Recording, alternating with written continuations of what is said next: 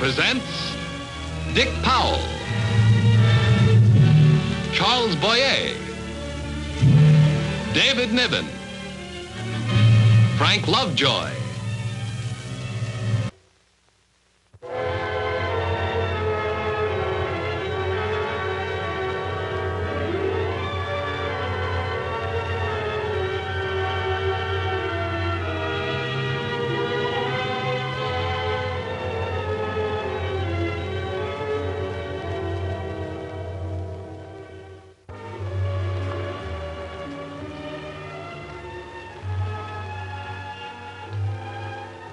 Don't ask me what his first name is.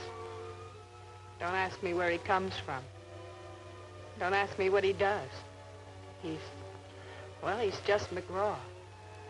Some say he did a little time once. Some say no. There's larceny in McGraw.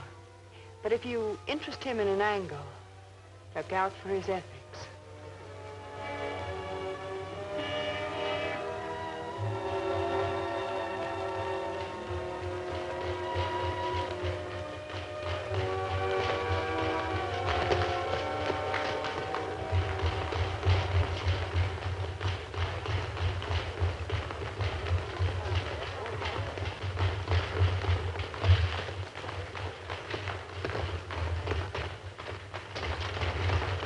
Object of McGraw's interest, in the ring that is, was a pretty boy Mendero, who was finishing off the final touches at McHenry's gym in Midtown for his bout with the leading contender. Pretty boy appealed to the girls, and the feeling was mutual. Pretty boy was uh, quite an investment. McGraw was called in to protect the investment. Me? Uh, I'm Sandra Starr. Just an innocent bystander. You McGraw? I'm Vic Kelsey. I got your message. What do you think of the pretty boy? You're very fancy. A real contender. Oh, please. Well, he's ranked number three, isn't he? 40 wins, 30 KOs. And look at the Dows. They're dizzy about him. Yeah. But can he fight? Hey, pretty boy. Go a little.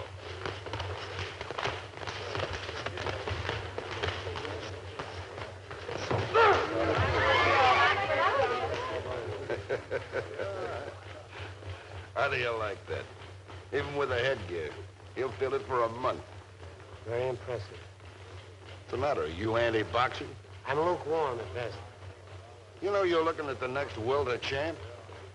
Okay, I'll buy it. What's the problem? Dolls.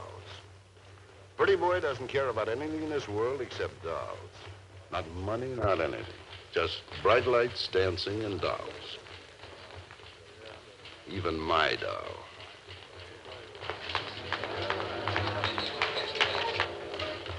Come on, let's talk in the office.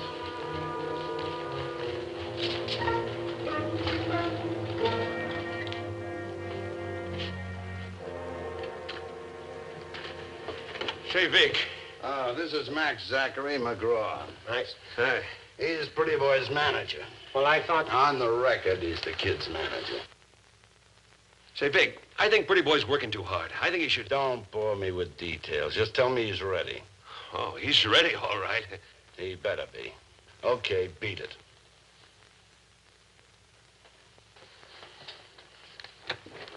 Here's yours. No. What do you mean, no? What's the matter? Didn't you ever hear the word before? Yeah, I heard it, but I don't like it. I don't know what it is you want me to do. Whatever it is, I want twice that amount. Okay, but I haven't got it on me. I'll give it to you later. Now, like I told you, Pretty Boy is girl happy. He vibrates if there's even one in the neighborhood. But he can't goof off between here and Friday night. He's trained down mean, and I want him to stay that way. I stay with him every minute until he climbs into the ring, right? In bed by 10 and keep him out of nightclubs. Sounds simple. You don't know Pretty Boy. He wants it all bad enough. He's liable to slug his way out. It's charming. How do I start? You already have. Come on.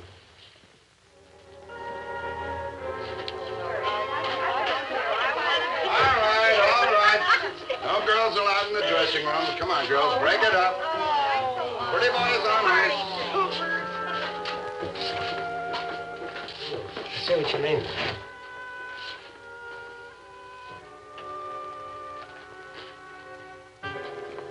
Sandra Starr McGraw. I've heard about you. I've heard about you. Pretty boy, meet your bodyguard. Who needs him? And how do you do? Take off.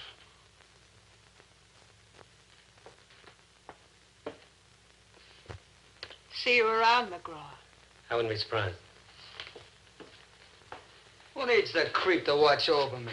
You need what I say you need.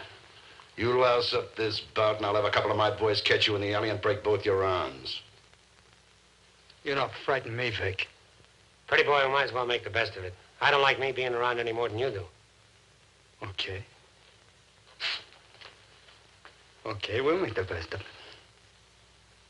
I gotta take a shower.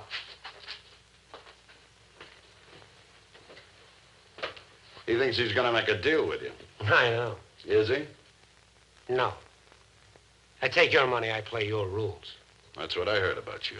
You heard good. Oh, meet Sam Grogan. He's promoting the match. This the fella? You don't look so tough. They tell me he's tough enough. You gotta deliver pretty boy, understand? He'll be there. We expect a quarter of a million dollar gate. He don't want to lose any money, I know. Now, who gets into Pretty Boy's room? Now, let's see. I'll tell him, Grogan. You just sell tickets. Anything you say, Vic. No one gets in except me and Grogan. And Max. Oh, yeah, Max Zachary. Me, Grogan, and Max. Okay. That's uh, quite a parley.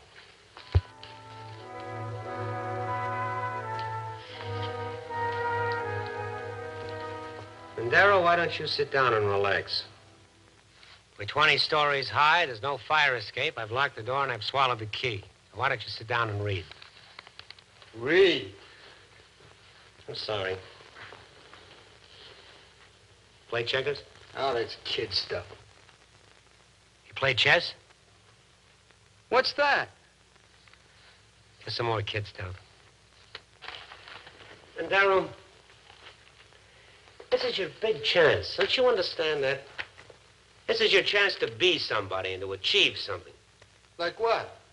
Like what? Like fame? Like glory? You're a fighter. Certainly you must want to be champion. You're only one step away from it. Okay, McGraw, I get the pitch. How much is Kelsey paying you? You don't get the pitch at all. And it's none of your business. I just wanted to know. Okay, if you really want to know. I get a couple of thousand. Half I've got, half I'm going to get. Well, we're in business, man. You collect a couple of thousand from Vic, plus a couple of hundred more from me. Come on. Look, buddy, I don't play it this way. Now, why don't you just sit down and relax? Oh, now, come on, McGraw. We got the whole night before us. Look, let me call up a couple of girls and do the town, huh? I might even be able to get one for you. Uh, are girls the only thing in the world mean anything to you? Yeah. Yeah. What else is there? Well, uh, for one thing, there's uh, money. Can't dance with money, man. How come you never got married? I tried that. She didn't want me to see anybody but her. Oh, real demanding type, huh? Yeah, yeah. She wanted me to spend all of my time with her. Now, can you imagine that? She even got sore if I try to date another girl. Guy can't put up with that for long.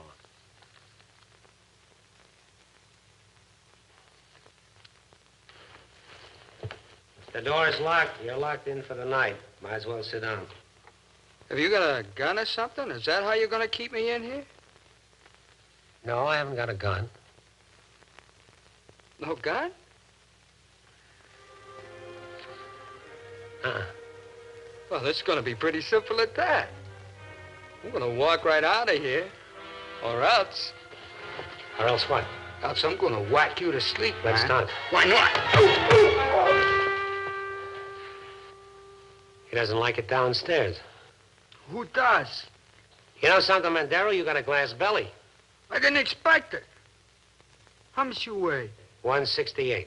Will you outweigh me? We're not even in the same division. Okay, then let's not fight. Maybe you'd like a soda or something. Shall I call the bellboy? Always a bellboy. How come they never have any bell girls? Part of the conspiracy.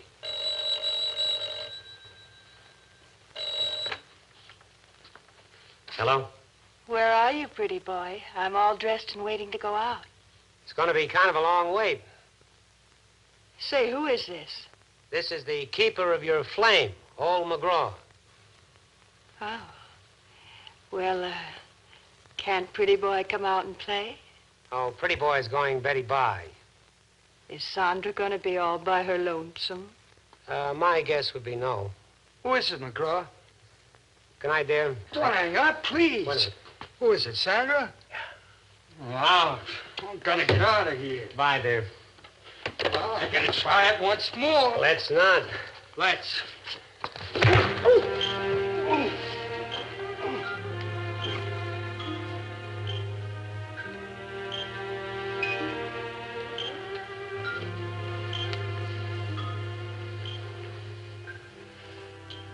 How you ever won 40 fights in a row, I'll never know.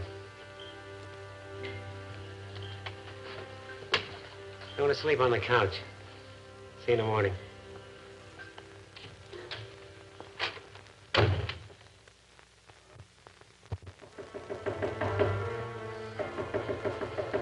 If that's a dame, go away. All right.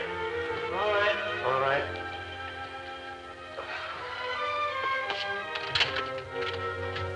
Ah, oh, Mac, It cost me a dollar a pill to sleep like that. You got a bad conscience, Max. And a bad ulcer. Is Pretty boy up yet? Ah, he's asleep in his room. He never busted out, huh? Kelsey picked a pretty good man.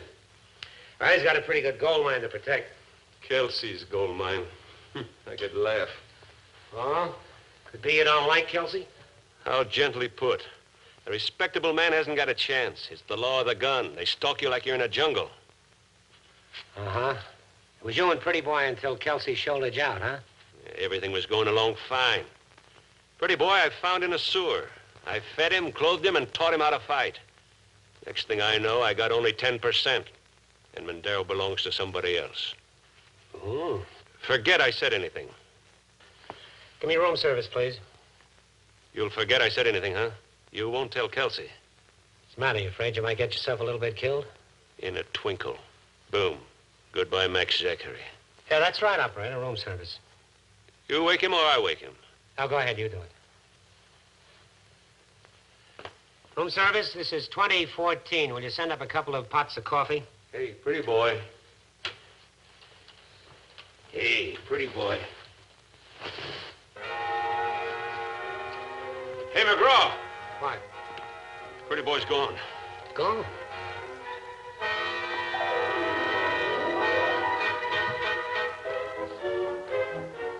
See. He walked down this ledge and used the stairwell window. Looks like a human fly He can't resist the call of a spider. A dame, huh? A dame huh is right, and a dame huh goes by the name of Sandra. Hey, if Kelsey finds him with Sandra, it's murder. Murder. Why do you think I'm on my way? Where does this girl live? Beckman Heights duplex, the Santa Clara Arms. I'll go with you. No, you stay here and take care of that waiter. I don't want all that coffee to go to waste.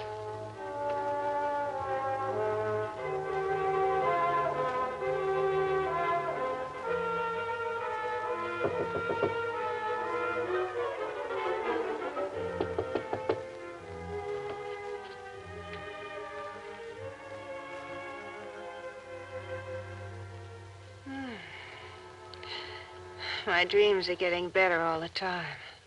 Good morning. Just like that, huh? No explanations, no nothing. I picked your lock. So you picked my lock. Lucky me. Where's Pretty Boy? You picked the wrong lock. You haven't seen him? Search the closets if you want. I'll take your word for it. You uh, seem at home anywhere. I'm worried about Pretty Boy. Who cares about pretty boy? You cared enough to call him up last night. That was last night. I woke up with a whole new set of ideas. I know you're stuck on that kid. I'm frank to say fighters get me. Athletic heart, that's your problem. Even though you're Vic Kelsey's girl, Even though. what would you do if you found out? Well, I'll recover. I got hospitalization. You seem to worry very much, do you? I never try to worry. Are you uh, going or staying? What would I stay for? Breakfast. Oh, say, McGraw. You ever been a fighter? Just the amateurs. Oh, well, that doesn't make any difference. Good girl.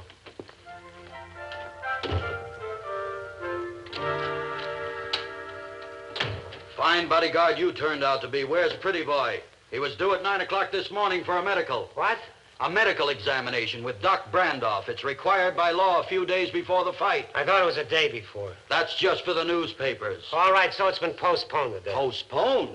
You realize I have a quarter of a million dollars riding on this gate? Tickets, rentals, advertising, payrolls, everything goes off like clockwork. And if he doesn't show up to meet the medical requirements, the whole thing goes down the drain. Now you rush right out of here and get Mendero down to my office. Do you hear? Barely. Fine bodyguard you turned out to be. Where's Pretty Boy? He just said that. Do you know how much we got invested? To the penny. There's nothing the matter with Mendero. He's out holding hands someplace. All this time? Well, you can't tell about some guys. I'll get it. Hello? What? Who? Max Zachary isn't here. This is Vic Kelsey. Tell me. Huh? What? Yeah. I heard what you said, but I just can't. McGraw, take this call. I don't believe what I heard. I don't want to believe it. Something about Pretty Boy? Some joker's on that phone trying to say that Pretty Boy Mendero is dead. Dead? What do you mean dead? What are you talking about? Shh. Where? Thank you. They found him about 8 o'clock this morning. He was killed by a hit-and-run driver on Palmer Avenue. Killed. I'm out of fortune. You're out of fortune. What about me? I'm out a couple of fortunes. One that I won't get back and one that I already put out. A few kind words will now be said for the deceased. Either one of you feel up to having a last look at this kid, somebody's got to identify him. Not me. I'm no good at that sort of thing. I'll do it. We don't need you anymore. It's probably all your fault that it happened. If you'd have listened to me and watched them close, like I said, maybe it... Uh, what's the use? Pay him off, Vic. What do you mean, pay him off? Send good money after bad? There ain't gonna be any fight? Well, then I'll pay him off. I don't like any loose ends left laying around. Here. We'll send somebody. Get out.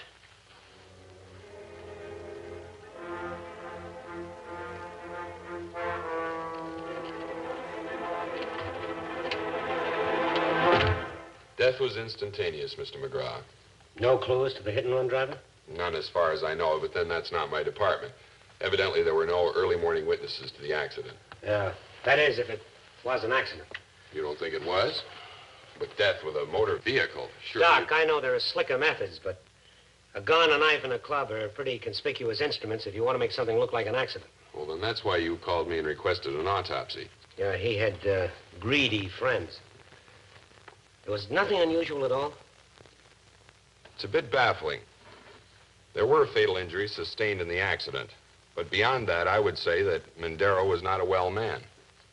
Pretty boy Mondero was a trained athlete. He was in superb physical condition. Outwardly, yes. But I found cardiovascular damage. You mean that condition is independent of the injuries that killed him? Punishment in the ring, perhaps? Hmm, could be. I'd even hazard a guess that while Mendero was alive, he was subject to blackouts and fainting spells. Well, you did a pretty thorough autopsy.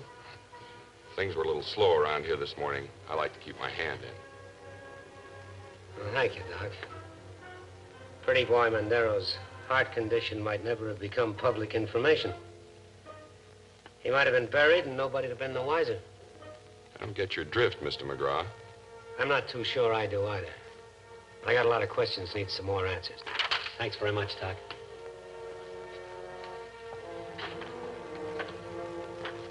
You know, come to think of it, there were a couple of times when I thought there was something real wrong with Pretty Boy. Would he have blackouts? Well, I wouldn't go that far. Well, how far would you go? Well, we'd be smooching, you know, kissing. Yeah, I'm with you. Well, he, he'd get dizzy. What's wrong with that? No, no, I mean, I mean, he'd really spin around like someone was rocking the floor underneath him. Then he'd take a pill. Pill? What kind of a pill? Oh, I don't know. Uh, he had a little silver box he carried with him. Told anybody else about this? Are you kidding? Thanks, Sandra.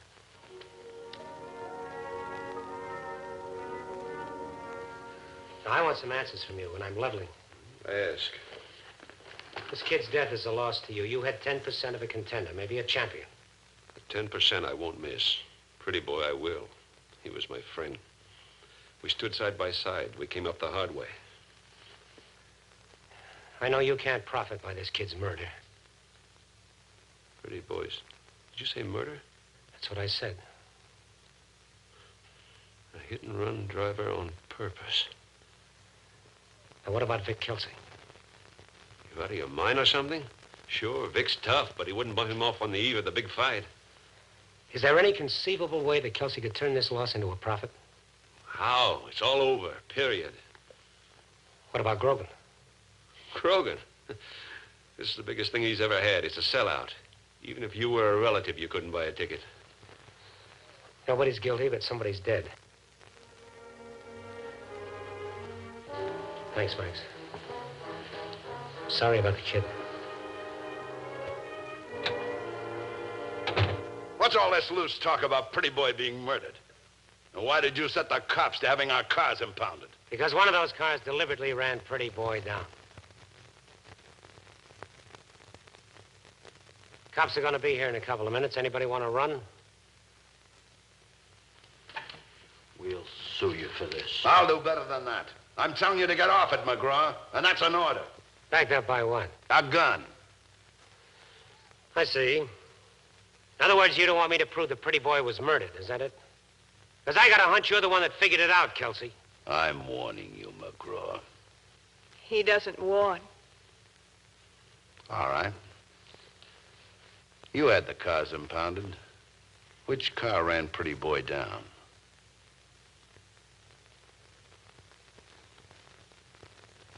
It was yours, Sandra. But there was a catch to it. Somebody else's fingerprints were all over the steering wheel. Somebody borrowed your car, deliberately ran over Mendero, and then put it back. No, no. Uh-huh. Him. You're crazy. You're out of your mind. I'm a loser, a big loser like everybody else. That's the way you wanted it to look. But the return of the advance and the advertising, the rent, and everything else is only a drop in the bucket compared to the insurance you're going to get because this fight went bluey.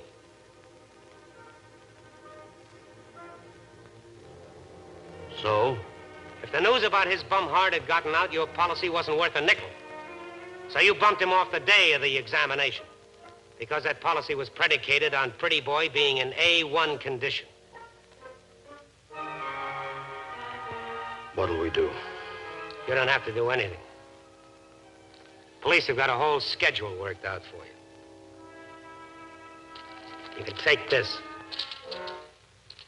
I don't need that kind of money.